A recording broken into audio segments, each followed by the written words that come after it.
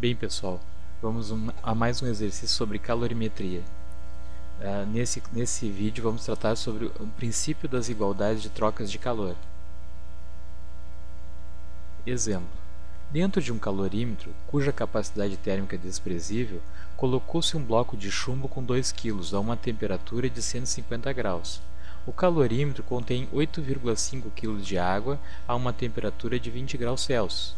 Considerando o calor específico do chumbo igual a 0,0306, determinar a temperatura de equilíbrio térmico. Primeiro passo: retirar os dados do enunciado. Dados: vamos chamar a água de 1. Então, a massa da água vai ser igual a 8,5 kg, ou M1 igual a 8,5 kg. O calor específico da água igual a 1. A temperatura inicial da água igual a 20 graus Celsius. O chumbo vamos chamar de 2, então M2 igual a 2 kg, C2 igual a 0,0306 e temperatura inicial do chumbo, T02, igual a 150 graus. Primeiro temos que passar a massa para gramas, já que o calor específico é em calorias por gramas vezes graus Celsius. Para isso, multiplicamos 8,5 por 1000 e 2 kg por 1000.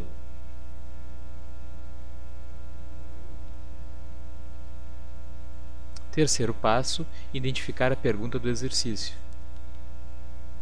Nesse caso, queremos determinar a temperatura de equilíbrio térmico, ou seja, queremos descobrir TF, a temperatura final.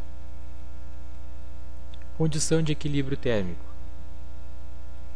A quantidade de calor da água mais a quantidade de calor do chumbo tem que ser igual a zero para estar em equilíbrio térmico. Vamos fazer ΔQ igual a massa vezes o calor específico vezes a variação de temperatura para a água e para o chumbo. Essa soma tem que ser nula. Sendo m igual a massa, c minúsculo igual ao calor específico e ΔT igual a variação de temperatura.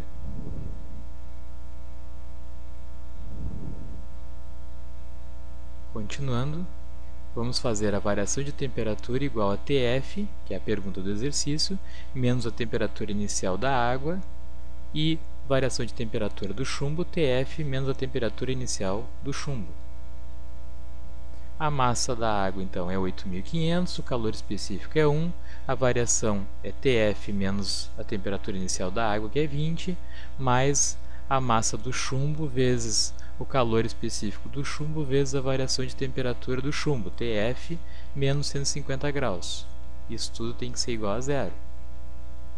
Multiplicamos 8.500 vezes 1 e multiplicamos 2.000 vezes 0,0306.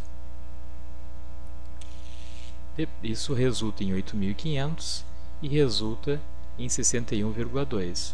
Fazemos então 8.500 vezes TF, 8.500 vezes 20.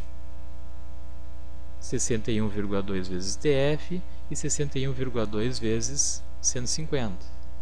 Então temos 8.500 TF, 8.500 vezes menos 20 vai dar menos 170.000. 61,2 vezes TF, 61,2 TF. 61,2 vezes menos 150 resulta em 9.180. Isso tudo igual a zero. Vamos somar o que está multiplicando TF primeiro. 8.500 TF mais 61,TF. Conserva o sinal negativo, então temos 170.000 mais 9.180.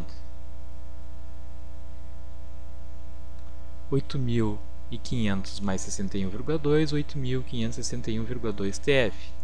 170.000 mais 9.180, 179.180. Isolando novamente, passamos os 179.180 que está subtraindo para o outro lado da igualdade, somando. Isolando novamente, TF, passamos 8.561,2 vezes TF para o outro lado, dividindo. Isso resulta em 20,93.